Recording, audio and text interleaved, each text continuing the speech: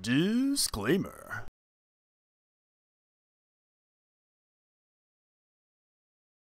Yo, thank you for making a comment. So for Novimus, I present this long review as a present. And now that I think about it, is it pronounced Ebimon, like ET, or is it Ebimon? Hmm. EB makes sense, but I'm gonna rock Ebimon. Sorry, not sorry. Anywho, as someone who's played Digimon World 1, I'm giving them praise too. They were my very first Ultimate when I first played the game when I was like 9, and I hold that dearly because that game was hard as a kid. Now, with that said, let's talk about that. When did Vademon get black lip gloss? So instead of a ray gun, they're just gonna hit you with the good old UFK smooch, huh? well, anyhow, Vademon has crazy early Digivolution potential. These requirements all need to be met, and the level is also one too. Ebemon requires one of these Digimon, and the reason why Vademon is the superior choice is because level 45 isn't early enough. In fact, this Digipath is so perfect that Vademon stat requirements are met as early as level 12, which is like digivolving your rookie to champion level. The others digivolve much later, probably because they switched majors too much, which, you know, is pretty fair, because it's hard knowing what you want to digivolve into someday, you know? Once the Prodigy graduates from Digi College, they get a different attribute and a brand new special move with their degree. This mega level only has 16 memory, which is really cheap for how surprisingly good they can be. To help us November, not remember, but these three megas have the cheapest memory use. Brain Rupture is single target, magic, and an electric attack having a 50% chance to confuse.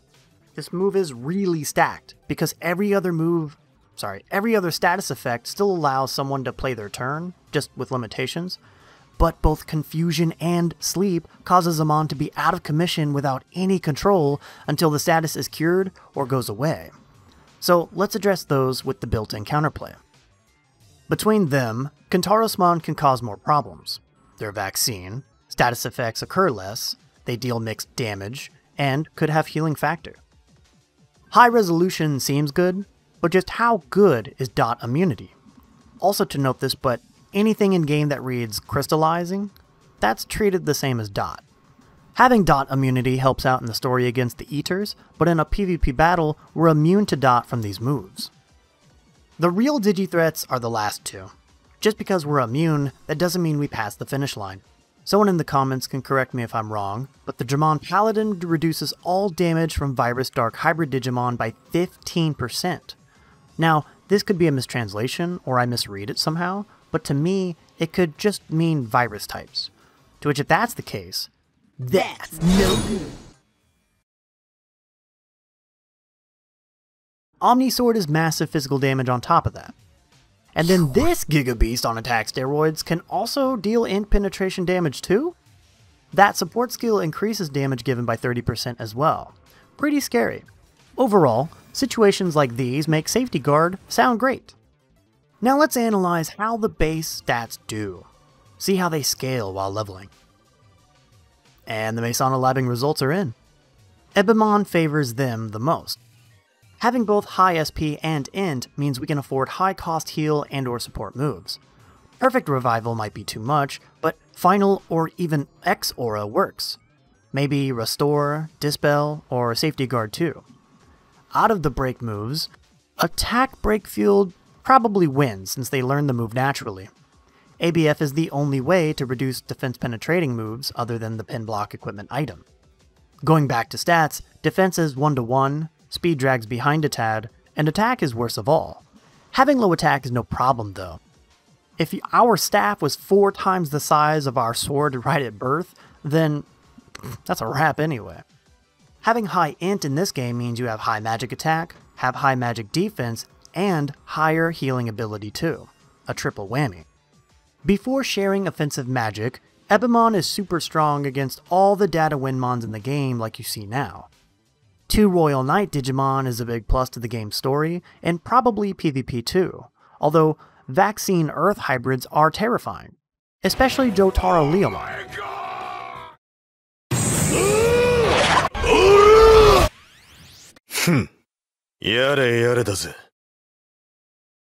Despite being a Royal Knight, They're not a physical threat on paper, and yet somehow both of them lack a powerful Earth special move. So I thought to include this Digimon too, which could pose a threat. This one's ultimate level, but they still possess dangerous qualities. This one's virus, but they still got destructive Earth damage. This one's just data, but they're so fast that one character reversal can change everything. And this one's virus that may not have defense penetration, but it's still flat, rock solid, and physical damage having high stun chance. From Ebemon's perspective, all of them can be a problem. As a result, Ebimon struggles to deal with hard-hitting physical vaccines, and there's like 20 of those in the game. Luckily, we can be big-brained and determine who to pair with them. They don't seem like top or even high tier to me, but when I remember playing both stories, I realize now that they could definitely work. Before I share who the homies are, I'll say now that moves like Holy Light 3, Character Reversal, Nightmare 3, and Sonic Void 3 are pretty solid offensive moves for coverage. As you can see though, Ebemon lacks AoE damage. Note that too. Now, let's talk about the homies. The homie!